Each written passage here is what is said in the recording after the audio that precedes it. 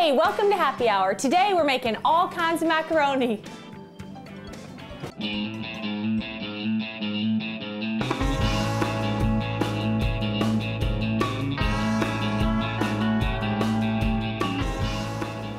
Like I said, we're making all kinds of macaroni today, and my nephew Claiborne is my special guest. Hello. He's in college, and so we decided we would help out all those starving college students and give y'all some good dishes to have. So let's get started. The items you're gonna need are eight ounces of elbow macaroni, one can of diced tomatoes, an eight ounce can of tomato sauce, a pound of ground beef, a little ground cumin, some red pepper flakes, a little bit of black pepper,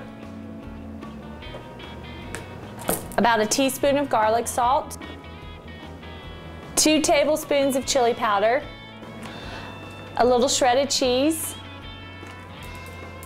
and one chopped onion. Now I told y'all all the ingredients and all those are gonna be used to make chili mac in the pot. Okay, I'm gonna start browning the ground beef and my nephew's gonna be chopping that onion. I didn't wanna cry for y'all, so we gave him that job. And he's in college, you know. He needs to learn how to chop an onion, so we'll see how well he does. Yeah, how exactly do I do that? I've heard if you don't don't chop the root because that's the last place it'll make you cry. So start Is on that the that part? that's, That's the that root. part. Start on the other end. Okay. Chop that off okay. and then kind of peel all that skin away. All right. And we're gonna just cook these together, the onion and the ground beef. And then we're gonna plop them in our crock pot. Ooh, I broke. Are you breaking stuff, No, Clayton? I For don't, goodness I don't know what happened. That's fine, just chop. Oh, Is that why you were holding it there? Because oh, for heaven's sakes. Okay, the chopper's broken, and I'm gonna cry too. Okay, that's good that enough. good? I can't take anymore. Yeah. me neither. Just put it in the bowl. We're gonna cook this until the meat is all cooked all the way through, and then I'm gonna drain it.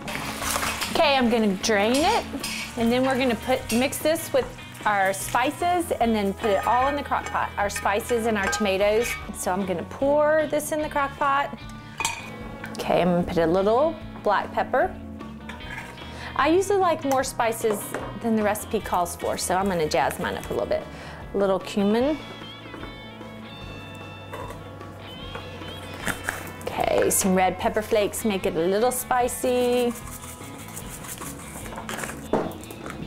Okay, some garlic salt, about a teaspoon, but I want more. Okay. And our last ingredient is about two tablespoons of chili powder. Okay, Claiborne, why don't you pour the tomato sauce and I'm gonna drain these tomatoes. Okay, you can pour those in. Okay. Do you think you can make this on your own? I think I can do it. So you just stir all that, stir really good. You're gonna cook this in your crock pot low for four hours. Okay, I'm transferring, good job. Okay, I have my crock pot on low.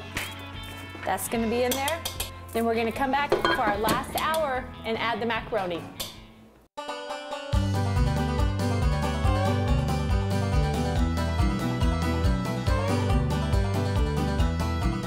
Oh, and I'm gonna put a little cheese on the top for you. So here you go. And I'm gonna bring you some cheese.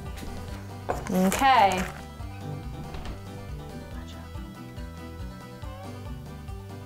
That's really good. Remember, it took a long time to make, but in the end, it's worth it, isn't it? Thanks for coming from all over the world. We love hearing from you, and let us know what you think. I think that's it. So, thanks for watching, and we'll see y'all next time.